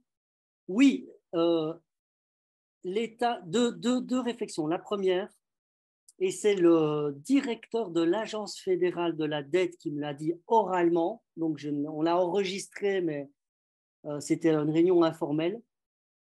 Un État a le droit de poser des actes unilatéraux, souverains, et il a le droit, s'il le désire, d'arrêter de rembourser sa dette sans aucune conséquence, on va dire, euh, d'ordre euh, pénal, je ne sais pas comment dire ça, si un citoyen ne rembourse pas ne paye pas ses impôts, on va lui tomber dessus et il pourra aller jusqu'en prison euh, et on pourra lui saisir tout. En État, on ne peut rien lui faire. La seule chose qu'on peut lui faire, c'est d'arrêter de lui prêter ou de décider de lui prêter plus cher. Donc ça, c'est le premier élément. Un État est souverain. Et justement, tu parlais du rapport de force. En fait, tant que les marchés financiers savent très bien que le gouvernement payera et n'aura pas, le courage d'arrêter de suspendre, eh bien, dès qu'un gouvernement veut mettre en place une mini-mesure progressiste comme euh, une petite taxe sur les banques ou sur la spéculation, etc., eh bien, ils vont avec toute leur puissance via les marchés financiers, via les bourses de capitaux, etc., montrer clairement à cet État que s'ils avancent dans cette direction, euh, ils vont euh, leur tomber dessus. Euh, mais tout ça n'est valable que si on paye. Il y a un adage qui dit, et c'est un adage qui vient, euh, un proverbe anglais qui dit que quand on doit 1000 euh, dollars à une banque et que vous ne l'avez pas l'argent, vous dormez mal. Mais quand on lui doit 40 ou 50 milliards et que vous décidez de ne pas payer, c'est le créancier qui dort mal.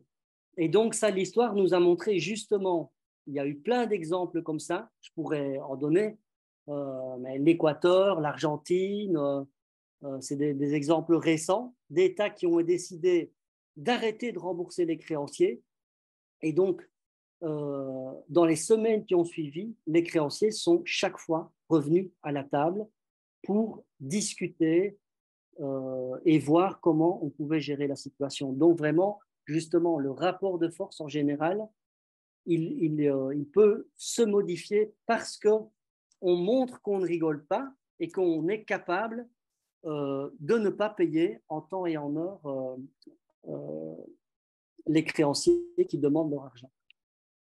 D'accord, merci. Et alors, mais qu'est-ce que finalement l'État attend Puisque effectivement, vous l'avez dit, l'État rembourse toujours sa dette, Donc ici, finalement, qu'est-ce que l'État attend pour pouvoir prendre, enfin, suspendre euh, ces mesures-là Parce que avec les dix, euh, les dix éléments concernant les bombes à retardement, je ne sais pas jusqu'à jusqu'à quand on attend une énième bombe à retardement avant de pouvoir commencer à suspendre ça. Finalement, voilà, je me demande quand est-ce que, jusqu'à quand l'État va-t-il attendre ou peut-il attendre?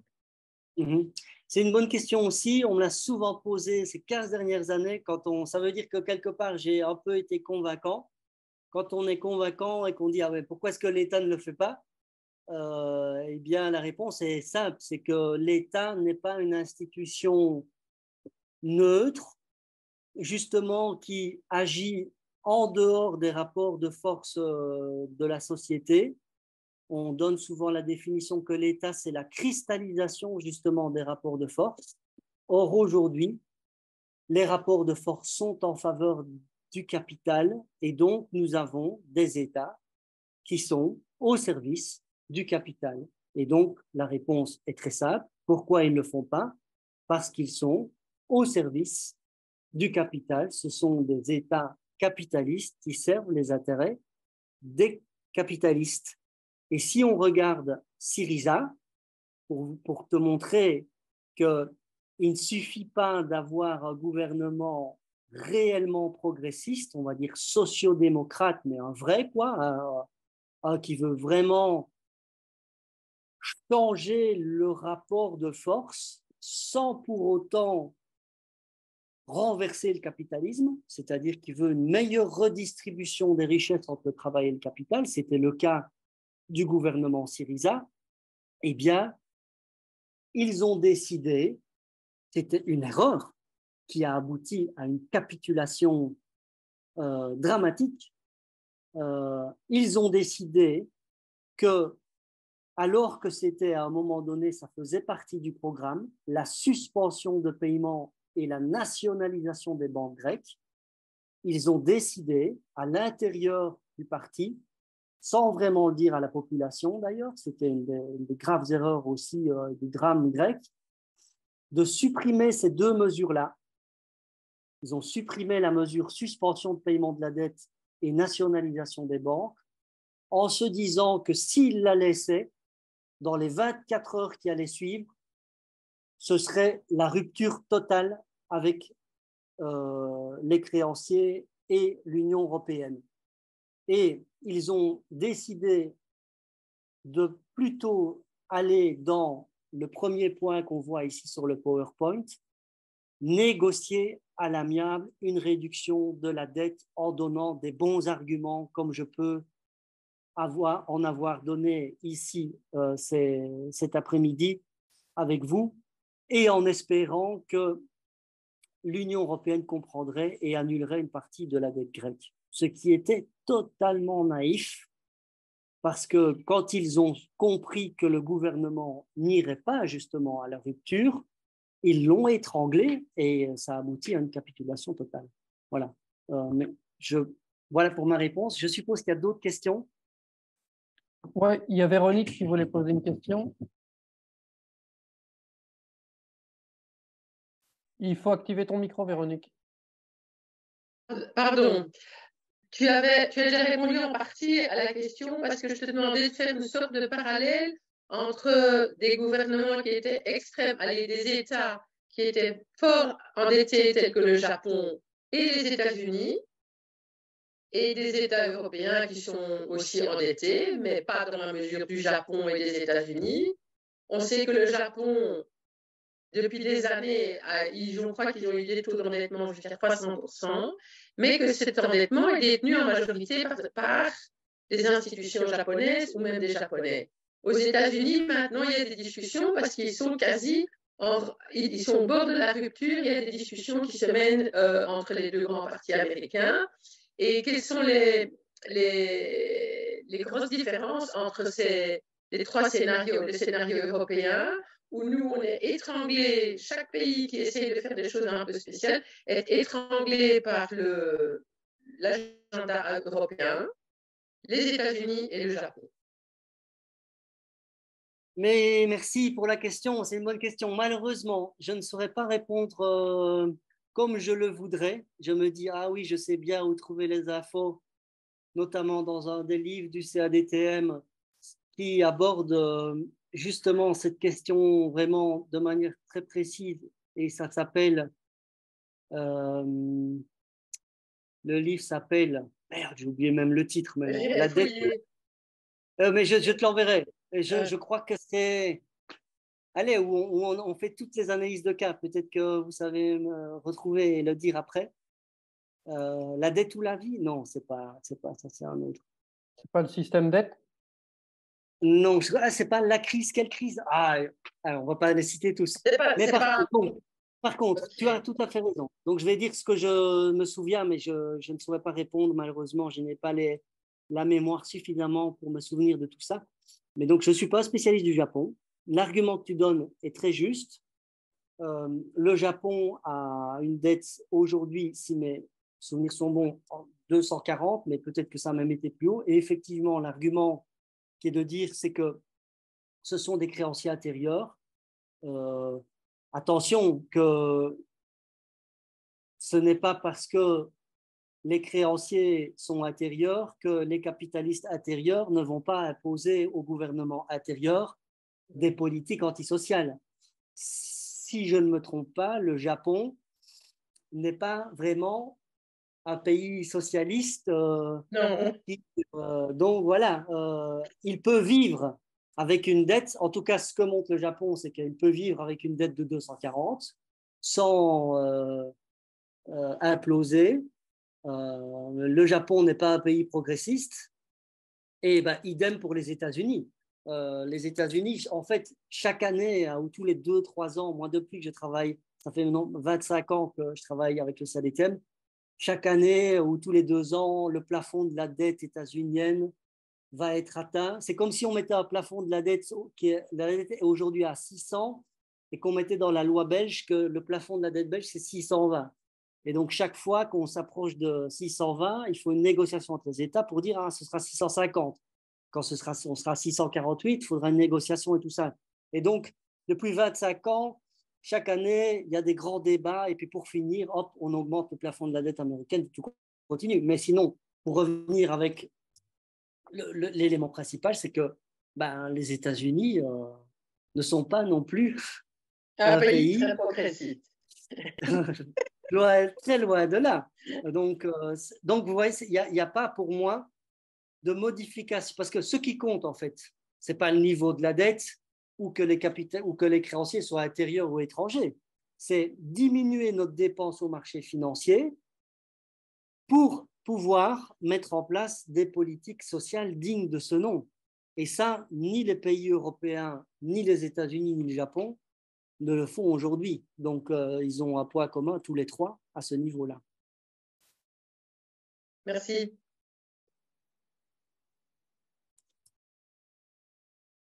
D'autres réactions?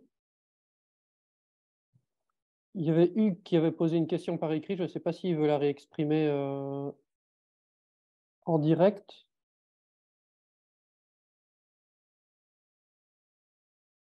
Ou je la lis, il demandait si euh, les possibilités de tenir tête aux créanciers dépendent également euh, en partie de la taille et des mécanismes de pression de ces derniers dans le sens où euh, pour l'Équateur, la Norvège est plus facile à faire plier que le FMI, euh, la Banque mondiale ou la Troïka européenne.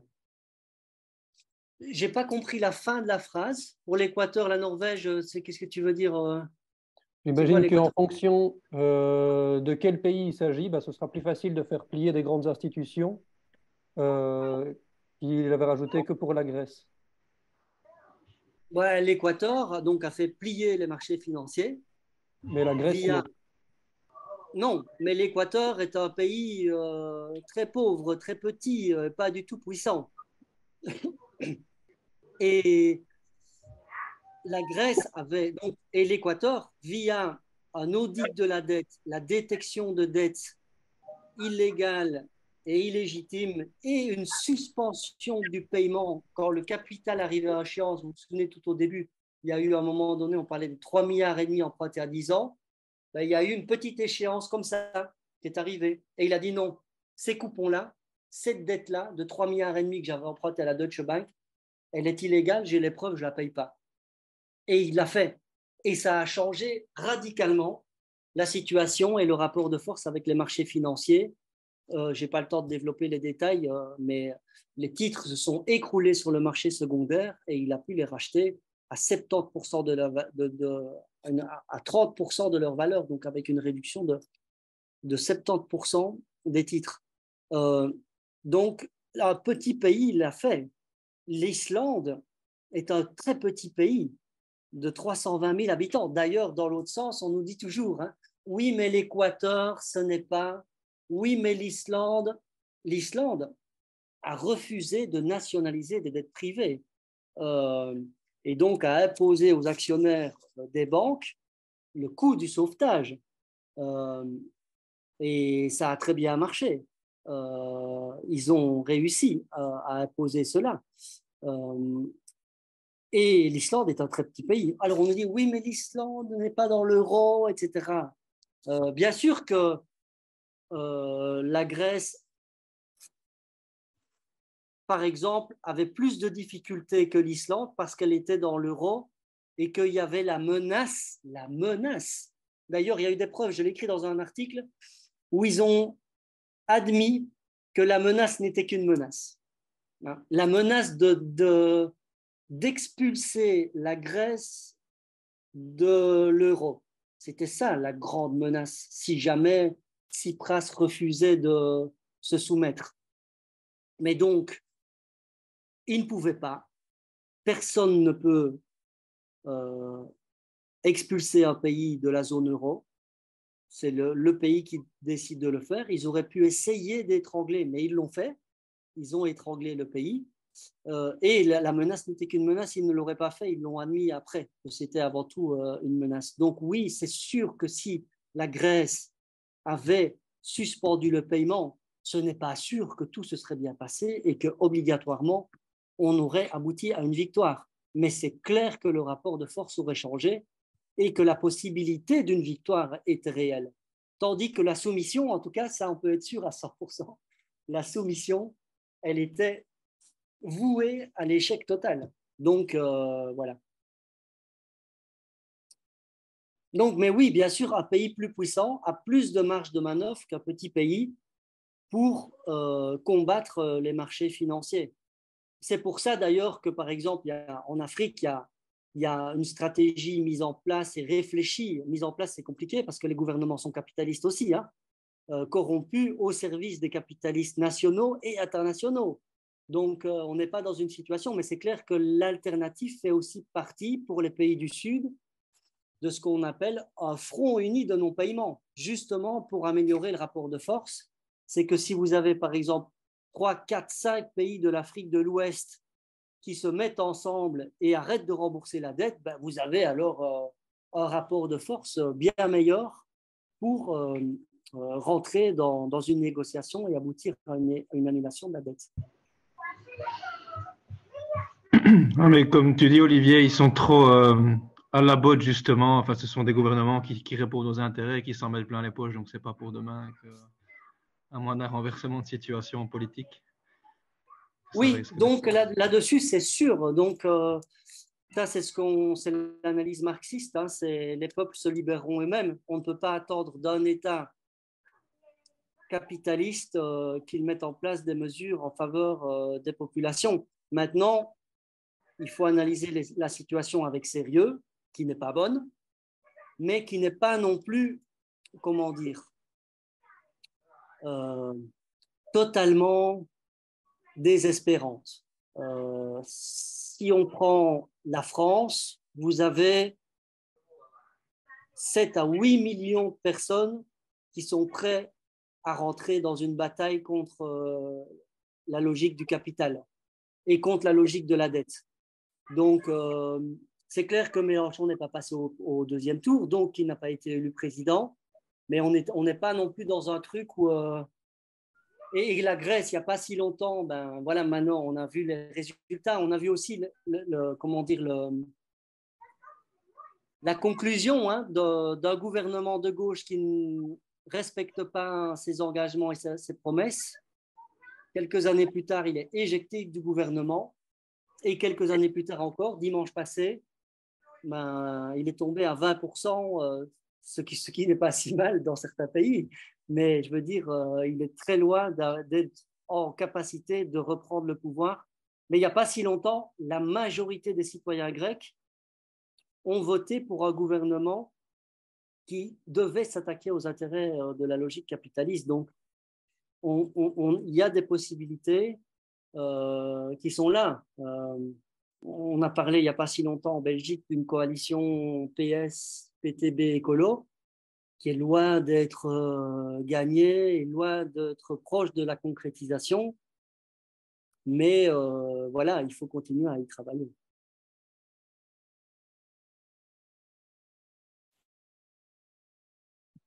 Merci. Il y a hum, Dominique qui voulait poser une question.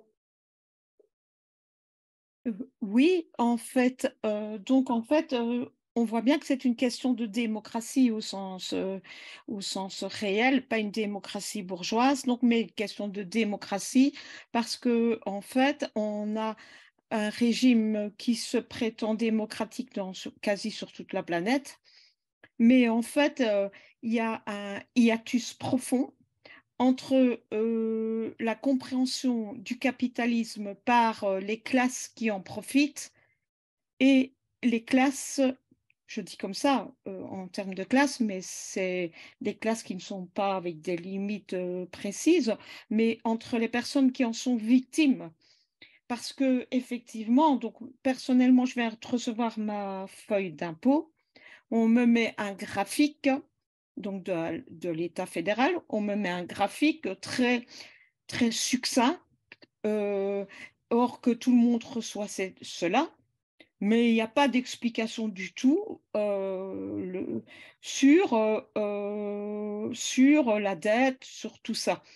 Et donc, en fait, alors que ce mécanisme est le mécanisme vraiment privilégié pour le transfert dans un régime dit démocratique en réalité une démocratie bourgeoise, de transfert des richesses euh, des populations euh, travailleuses, euh, etc., au sens large, vers le capital qui vit, qui profite en fait de la plus-value du travail. Donc, en fait, je pense que c'est ça, je pense, le problème. Donc, l'État et les partis qui seront présents dans, qui représentent l'État dans une démocratie représentative, en fait, euh, ne fait pas ce lien. C'est ça le problème. Et je pense que quand on voit, euh, alors comment, comment, je pense que c'est que euh, dans les cas où il y a eu le rapport de force qui s'est inversé, c'est parce que les populations sont allées dans la rue et que les États ont relayé les populations. Par exemple, j'avais euh, lu des, textes sur euh, ce qui s'était passé dans plusieurs pays qui avaient renversé le rapport de force et imposé donc la suspension et imposé la suspension et donc inversé le rapport de force. Chez nous, il n'y a pas ça. En fait, en général, dans les pays euh, où le capital, il y a une couche intermédiaire entre le capital et les classes victimes euh, du système économique, eh bien, il n'y a pas ça. Et donc, ça bloque le changement, ça bloque les révolutions, ça bloque le. Voilà. Mmh. Bah oui, j'ai pas, pas grand Oui, oui, c'est très clair. J'ai pas grand chose à rajouter. Simplement, une petite note d'espoir. Euh, je crois, aussi, je ne sais plus le titre de l'article, mais c'est que il n'y a pas de il n'y a pas de remède miracle pour basculer d'un monde où les populations sont passives à un monde où la population, la majorité de la population se met en mouvement. Et, ça, comme Rosa Luxembourg, je la citais pour la dette, mais elle est très bonne aussi pour la, la question justement de l'avènement de processus révolutionnaires. Elle dit l'étincelle de l'action, l'étincelle de la conscience révolutionnaire s'allume dans l'action. Euh, et c'est que quand il y a, par exemple en France, alors le résultat n'est pas bon, mais je veux dire, on peut voir, on, ne sait pas, on ne sait pas prédire si ça se trouve dans un mois, il va y avoir un mouvement sans précédent qui va, qui va naître, et c'est toujours comme ça que ça se passe dans l'histoire. On ne sait pas prévoir les grands mouvements sociaux qui ouvrent des perspectives révolutionnaires. Euh, Didier, les militants, euh, tout le monde, toi, depuis des années, on fait notre petit boulot, etc. Et il n'y a rien qui change. Et puis, à un moment donné, c'est jamais nous qui décidons, c'est il y a quelque chose qui se passe. Et, euh, et, ça prend une autre, une autre dimension. Avec jamais non plus la, comment dire, la certitude d'une victoire et, ou de victoire, même partielle. Mais euh, on est dans une nouvelle phase, on est dans, une, on est dans un nouveau monde où là, les gouvernements s'apprêtent à appliquer des nouvelles politiques d'austérité au nom du remboursement de la dette. Les syndicats en Belgique sont pas du tout d'accord, les gens sont pas du tout d'accord. 80% des, des, Français sont contre la réforme de retraite et veulent encore qu'elle soit supprimée. Euh, il va se passer quelque chose d'important le 8 juin. Euh, si ça se trouve, euh, mais on voit bien hein, qu'il n'a il a pas fait, on sait pourquoi. Mais si Macron avait reculé, ça aurait provoqué une dynamique très importante et très positive. Il va peut-être reculer dans deux mois, il va peut-être être obligé. Et, par exemple, quand, quand, il y avait le processus révolutionnaire radical en Grèce, enfin je mets entre guillemets révolutionnaire, les mouvements sociaux européens regardaient euh, avec grande attention et grande motivation ce qui se passait en Grèce. Et si la Grèce avait refusé de payer et avait réussi un confinement, ça aurait changé énormément de choses euh, en France, en Espagne, en Belgique. Euh, si Mélenchon était arrivé au deuxième tour, ça aurait changé des choses pour le mouvement social belge. Donc c'est clair que ce n'est pas en notre faveur, puisque tous les instruments on va dire, idéologique, les médias euh, et tout le reste sont en faveur du statu quo, mais ce n'est pas, la bataille n'est pas perdue.